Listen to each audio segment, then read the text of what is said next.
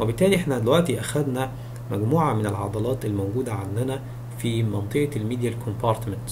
اخدنا ال pectineus muscle وعرفنا إن هي بتجيب من ال superior pubic ramus يعني من الحتة دي ال superior pubic ramus بينما العضلة بتاعتنا ال adductor longus هتلاحظ إن ال origin بتاعها rounded صغير شوية إنما دي ال origin بتاعها عامل زي الخط كده.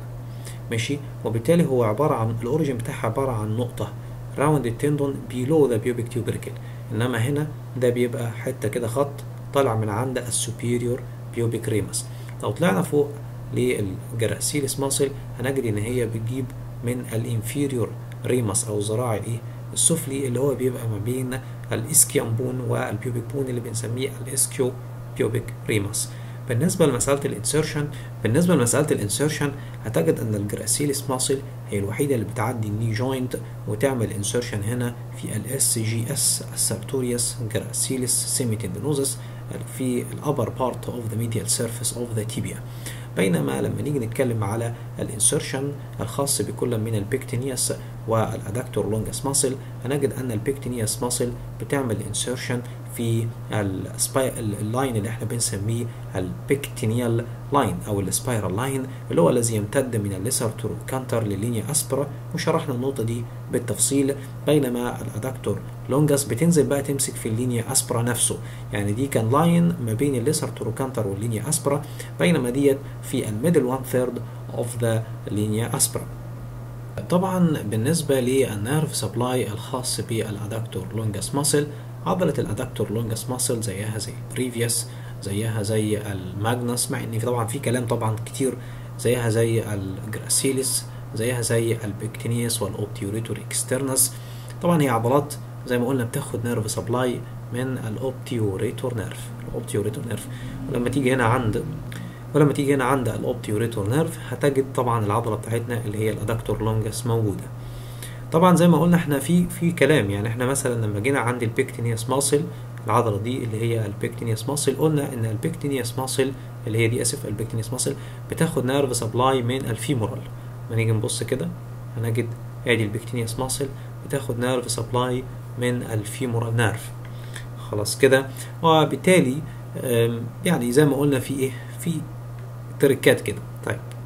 برضو ال adductor magnus muscle اكمنها عضلة كبيرة فبرضه بيجي لها عصبين بيغذوها وبالتالي لازم تبقى عارف إنه عضلة ال adductor magnus muscle وعضلة ال pectineus muscle العضلتين دول من العضلات ال medial compartment اللي بتاخد nerve supply من ال obturator. عادي جدا بتاخد nerve supply من ال obturator زي باقي عضلات ال medial compartment لكن بيجي لهم nerve supply من حتة كمان. ماشي؟ يعني ال pectineus muscle بيجي لها nerve supply من ال femoral nerve وال adductor magnus muscle هنقوله ساعتها لما نيجي ناخد العضلة دي. طيب. أول اكشن موجود عندنا طبعا زي ال muscles الموجودة كلها في ال medial compartment طبعا هي من اسمها بتعمل adduction يعني عضلة اسمها adductor عضلة اسمها adductor فطبيعي هتعمل adduction الاكشن التاني بقى اللي عايز اوريه لك هنا هو الاكشن اللي هو ال medial rotation خلاص كده ال medial rotation. طبعا آه لما نيجي نتكلم آه طبعا لما نيجي نبص على آه جدول زي ده ونتفرج على العضلات الموجودة عندنا هنجد ال adductor longus وال adductor brevis وال adductor magnus التلاتة adductor كلهم adduction لكن هي الفكرة في التركة التانية إنك تبقى عارف إن ال longus وال magnus عندهم اكشن كمان اللي هو ال medial rotation. حتى تلاقيني أنا نفسي وأنا بذاكر مش معلم على ال adduction مش محتاج إن أنا أعلم عليها ما هي من اسم العضلة إنما معلم على ال medial rotation إن ال longus وال magnus بيعملوا medial rotation وده لأن ال brevis قصيرة وغلبانة ما تقدرش تعمل اكشن تاني غير ال adduction طيب التركاية كمان اللي هتلاحظها هتلاحظها مع عضلة ال gracilis muscle اللي إحنا أخدناها إن هي برضو بتعمل adduction